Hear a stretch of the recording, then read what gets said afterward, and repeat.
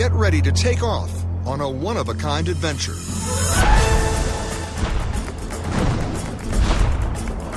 You've never been on a journey like this or traveled to a country the way we're going to take you.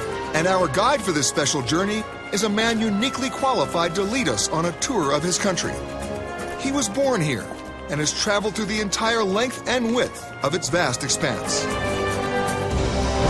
He is a man who has climbed to the top, a man leading his country through the challenges of a singular time in its history. His name, Felipe Calderon, and he is the President of Mexico. He's going to take us places most travelers have never seen.